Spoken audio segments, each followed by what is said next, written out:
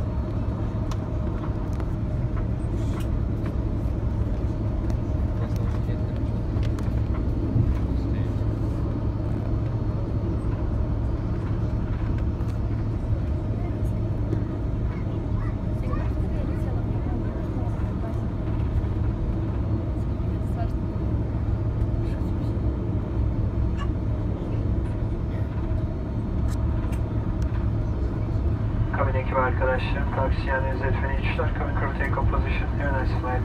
Thank you.